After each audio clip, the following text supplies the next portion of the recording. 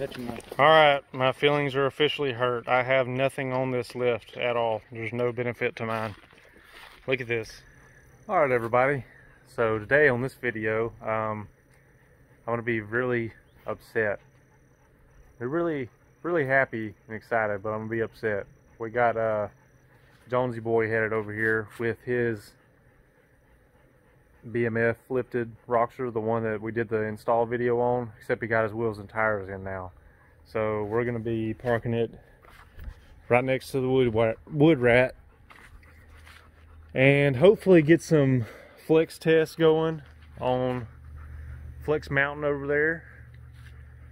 Uh, just to see the difference between, you know, what the stock springs can do you know, how it looks with the lifted tires, everything compared to the wood rat. I got news for y'all. This is going to get bigger.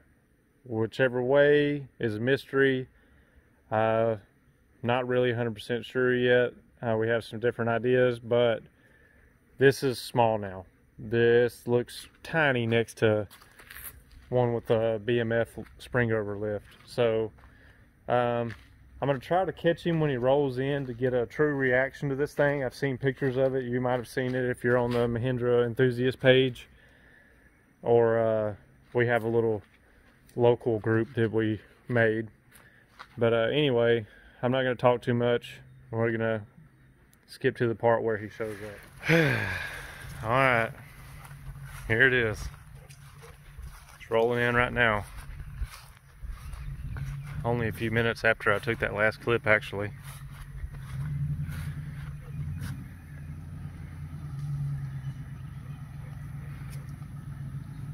I hate this so much.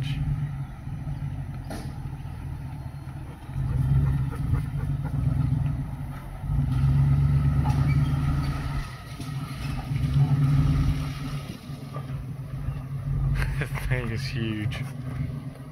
It is huge. He did a custom little exhaust job by a guy we use for everything. I'll help him get it unloaded and we'll do walk around and everything. So else. as y'all may have heard or I may have said, he's gonna be the one that goes like try to full performance later on.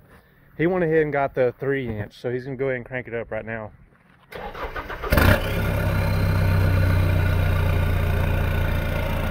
I think it's a little bit more throaty. It's hard to tell. Yeah, that's deeper for sure.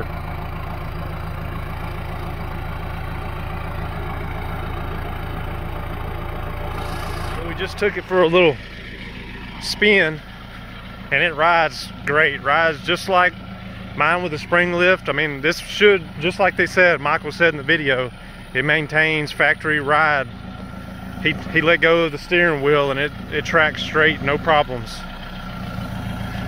It rides good. Sounds good.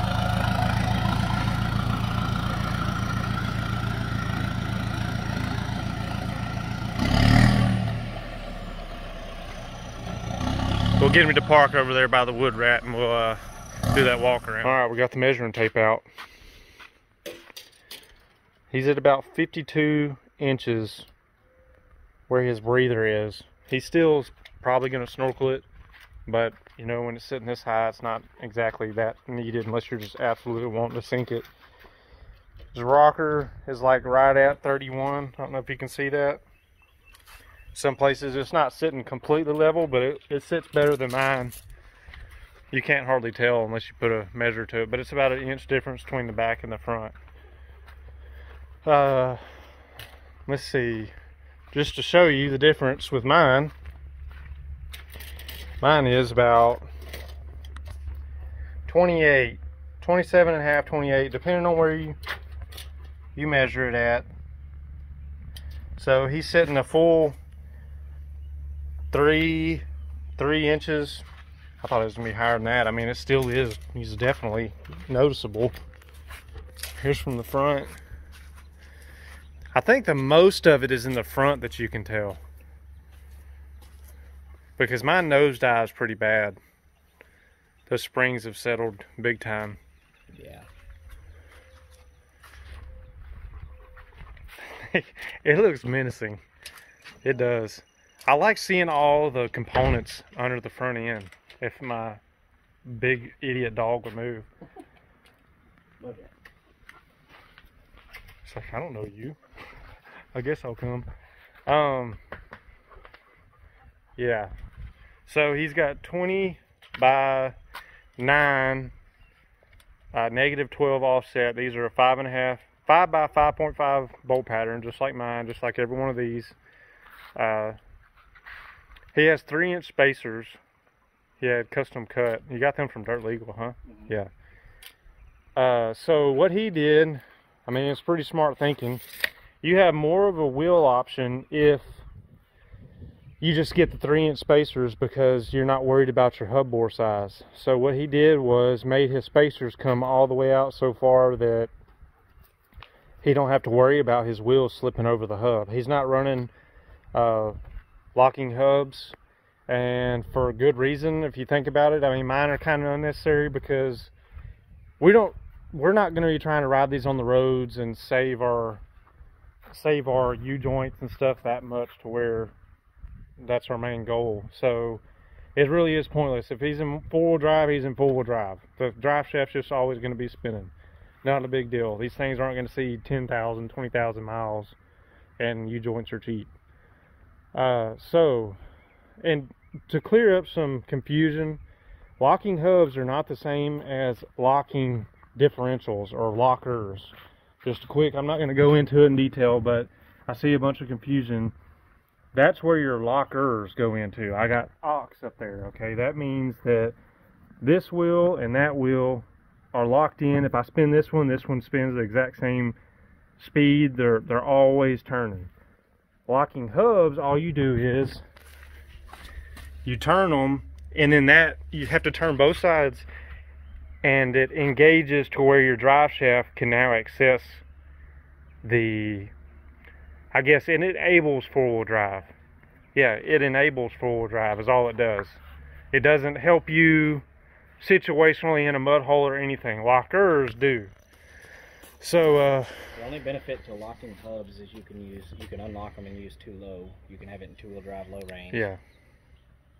If y'all, I don't know if y'all heard that, but you can disconnect them and use your two, two, uh, well, four low, but just have two wheel drive basically because you're disconnecting your front end. So, what, do you think we should do next? We got measurements.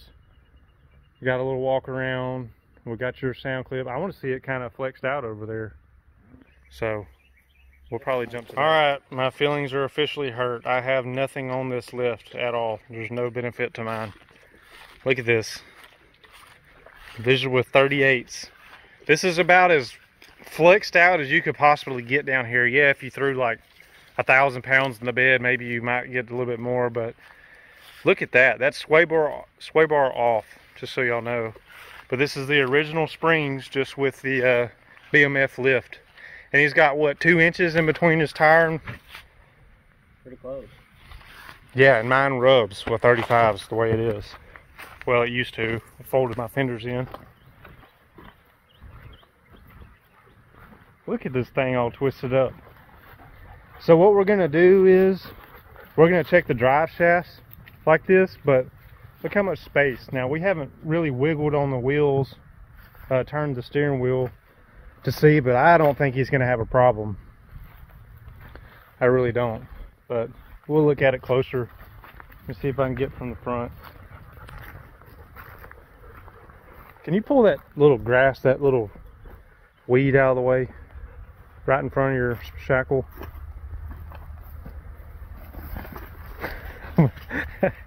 little plumber's crack in there. Uh, Man. Plumber's crack. I'm impressed.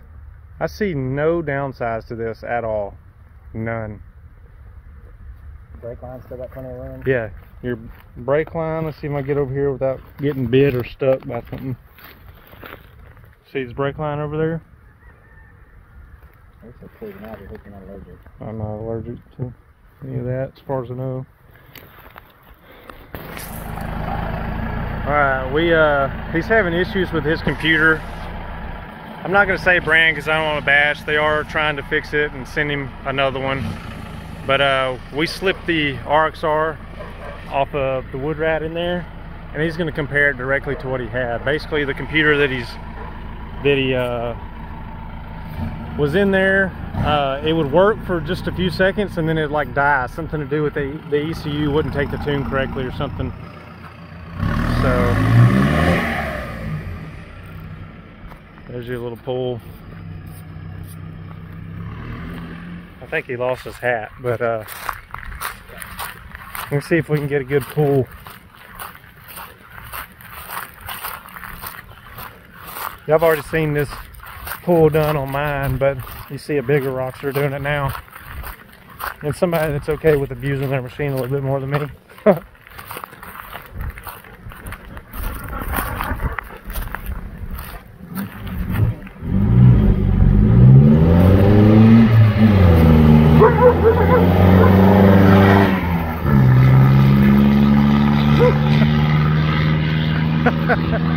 that three inch pipe, you can tell. All right, what do you think about the RXR?